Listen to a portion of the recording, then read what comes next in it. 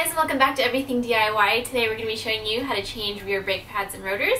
This should be a pretty good guide for those of you who have rear disc brakes as the design is pretty similar between vehicles. The parts we're using are these PowerStop slotted and drilled rotors as well as these ceramic brake pads. There are quite a few tools we'll be using for this project so if you're interested in a full list just see the video description below.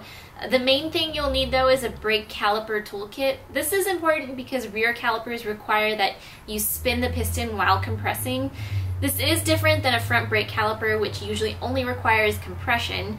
It's also considerably harder to compress so this tool will make your life a lot easier. We were able to buy this entire kit for $25. So the first thing we're going to do is park on a level surface. Don't engage the parking brake, then lift the car on both sides, support with jack stands, and remove the tires. Next we're going to locate the rear caliper here and remove the parking brake line. Okay.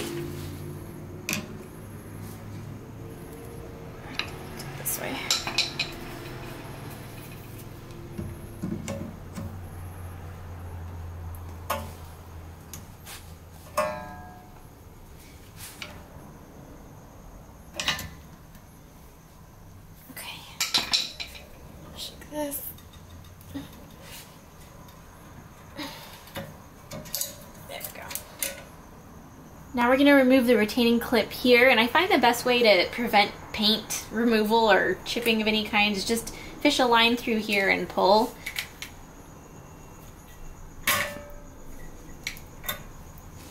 Now we can start to remove our caliper. There's two slide bolts here that we'll be removing right now. Take off the two plastic covers.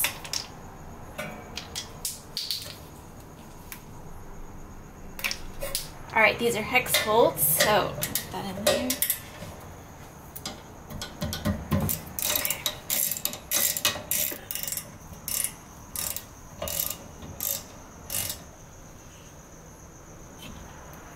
Finally, pull the caliper off the rotor and put it off to the side. Okay. From here we can see the two brake pads. Just remove those. In order to take off the rotor, we need to remove this caliper mount here, and it has two bolts in the back. I remove now.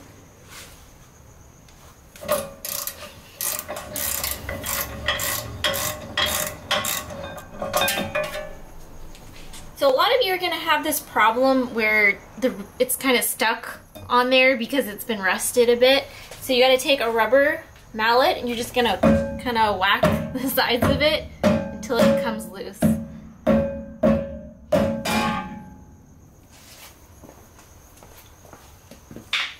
There we go. Before installing the new rotor, we're going to clean the wheel hub with a wire brush.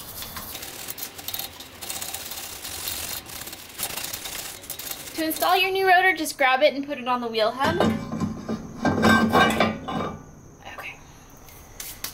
Make sure if you have slotted or drill rotors that you put it on the correct side of the vehicle. It's best to follow the indicators on the rotors for the correct direction. We found that what might seem correct might actually be wrong. In our front rotor video, we had a lot of people comment and say that we installed our rotors backwards. This in fact was not true. What some people didn't seem to understand is that the direction of the rotor depends on the direction of the internal cooling vanes and not the outside slots. There are clear markers on the rotor indicating on which side it's supposed to be placed, and that's the procedure we followed.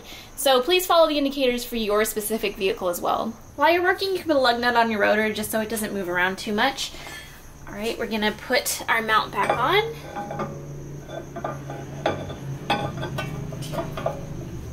Bolt it in. We're gonna torque those bolts to 50 foot-pounds.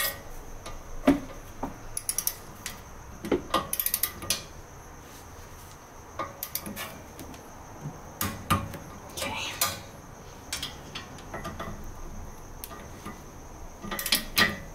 Oops, also you want to know to clean the mount with some brake cleaner. We didn't do this on camera because it would just get everywhere. So yeah, just get it clean. Okay, now it's time for our new brake pads. You're gonna wanna put some grease just here and here to reduce noise on the road. I'm gonna do that now. The one with the pin goes in the back. Okay. Now the other one.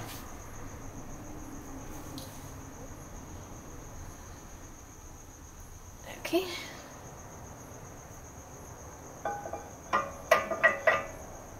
Okay, now for the sort of more difficult aspect of the job, we're gonna be using our new tool to spin and compress the piston back into the caliper. A lot of people clamp and remove the brake lines because it makes the piston spin down easier, but we have steel brake lines so we can't do that, but this tool really already makes the job pretty easy. The tool has these two pins here at the bottom that obviously go into these two slots here, so I'm just gonna place it. This is how it's spun. Right, right in there. Then...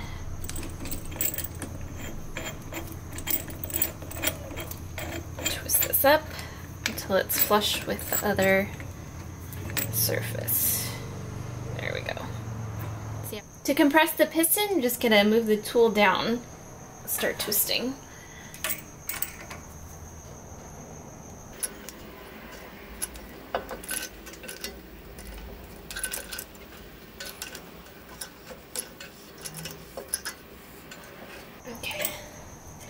There it is. I really do highly recommend this tool. It just will make your life so much easier.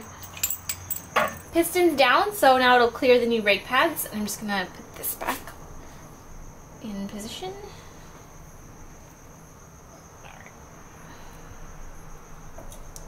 There we go. Okay, now we can replace the slide pins. We're gonna wanna put a little bit of brake grease down at the bottom because the caliper slides around in there a bit, so just uh, some lubrication on that.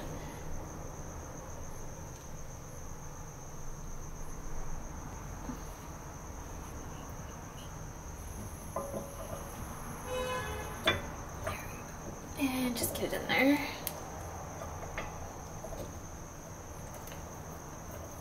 Now the next one, same thing.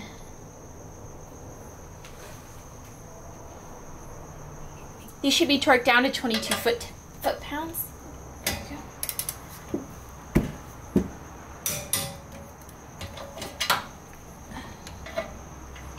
Put a little too much grease on there. Uh, just needs to be on the contact points really. So I'm gonna wipe that down just a bit. Two plastic covers. And the retainer.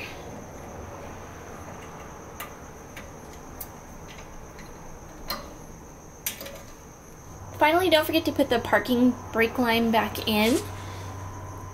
Through there.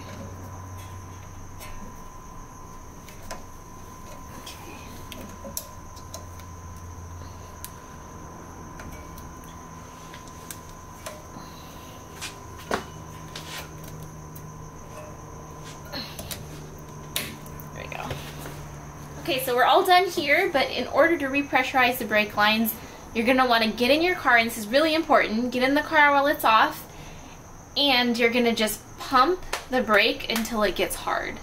Okay, so we're all done with that. Obviously, I'm to put the tire back on, but another important thing is you're probably want to bed in your brakes, so we have some tutorial links down below on proper procedures for that. So if you like this video, please hit the like button. If you want to see more from us or are new, subscribe. If you have any questions or comments, we have that section down below and we'll see you at our next one. Bye!